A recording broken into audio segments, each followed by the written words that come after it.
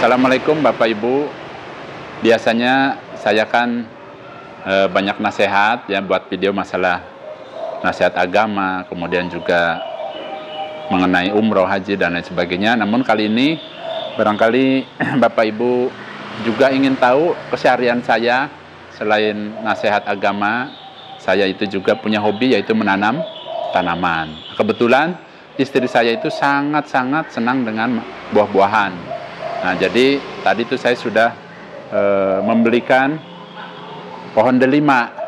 Supaya apa? Supaya mungkin nanti nggak usah beli lagi, jadi cari pohon yang bisa bermanfaat.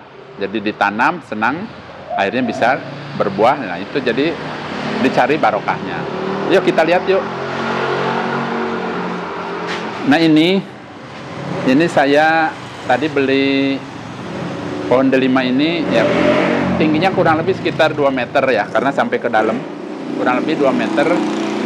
Kenapa kok langsung yang 2 meter?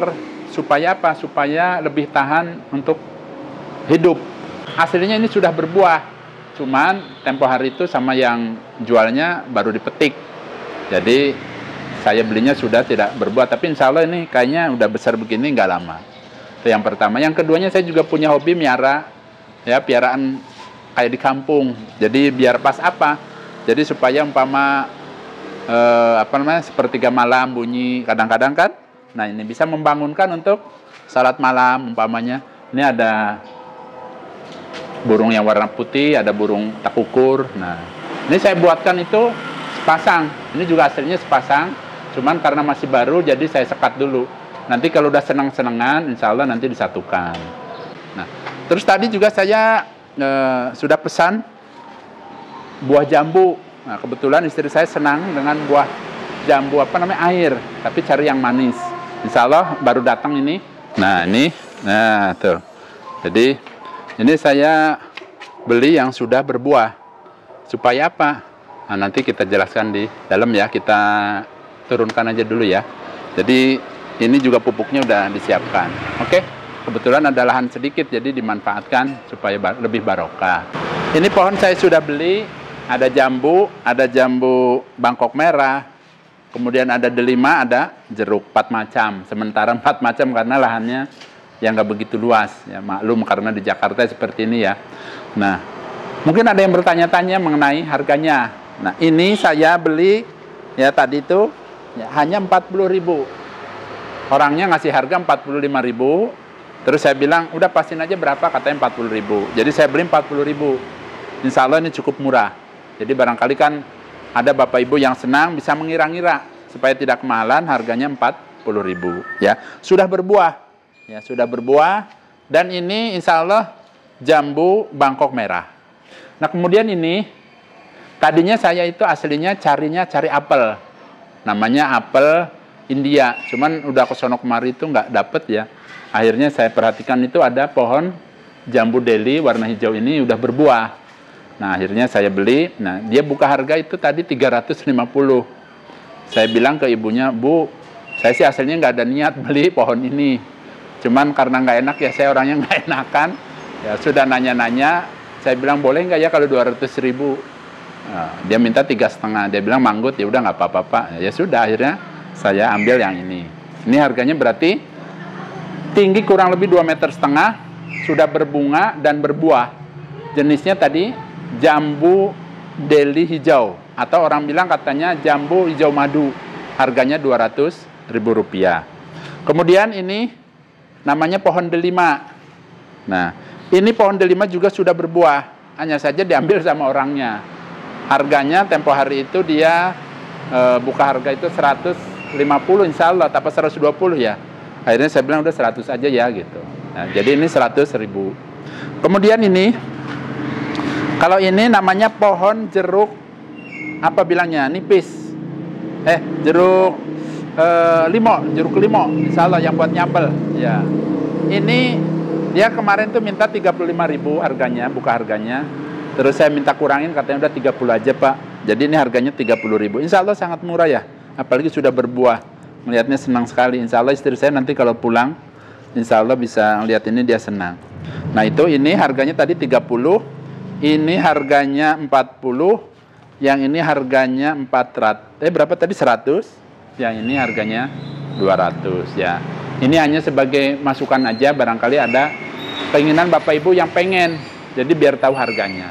Mungkin ada ya pohon-pohon yang lebih mahal. Ya saya sih yang sedang-sedang aja yang penting bisa ada buahnya ya, karena kebetulan di keluarga sangat senang dengan buah-buahan nah kata orangnya ini sudah berbuah nah ini buah Nah, insya Allah nanti saya buka. Nah, di sini juga ketinggiannya insya Allah ada sekitar 2 meter setengah ya.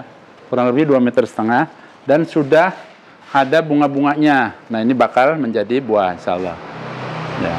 Kenapa saya beli yang sudah besar? Pertama, keunggulannya. Kalau kita beli yang besar itu pertama cepat berbuah. Nah, yang keduanya, kalau syukur-syukur kita beli yang sudah berbuah, itu akhirnya kita tahu jenis buahnya itu sesuai enggak dengan namanya. Contoh misalnya ini buah deli hijau, apakah betul ini buahnya seperti itu ya? Nanti warnanya nggak sesuai berarti kan orang itu bohong. Insya Allah sih jujur orangnya. Nah ini kita lihat. Oh ya ada tuh. Nah ada. Nah ini betul nih. Warnanya hijau betul. Karena ini deli hijau ya sebentar. ini. Nanti saya bungkus lagi. Jadi sebentar saya lihat aja. Kasih lihat. Nah ini. Nah ini. Jadi belum begitu besar. Nah oh ya. Nah ini. Jadi sudah ada uh, jambunya. Betul ini warnanya hijau dan insya Allah ini jenisnya jambu deli hijau menurut baca-baca di buku sih insya Allah ini katanya manis jambunya nah itu ya kemudian saya juga tadi beli ini nah ini ini Aslinya saya cari yang kurang lebih yang 2 meter. Tapi ya nggak nemu-nemu ya. Katanya kebanyakan sih nggak jauh dari semeter setengah lah, segini. Nah ini saya tadi beli yang sudah ada jambunya, bahkan ini sudah dipetik sama orangnya. Ya besar, eh, manis rasanya. Jenisnya namanya jambu Bangkok merah. Insya Allah manis. Nah, kemudian saya juga di sini tadi ini, ini sudah saya tanam Nah ini saya beli ini empat jenis ini. Kenapa saya beli empat jenis? Nah in, menurut informasinya itu ya, empat pohon ini bisa tumbuh di dataran rendah. Jadi kalau kita mau nanam pohon diusahakan kita harus tahu pohon itu cocoknya di dataran rendah atau dataran tinggi ya. Kalau kita misalnya rumahnya atau lokasinya ada di dataran tinggi ya kita cari pohon yang sesuai.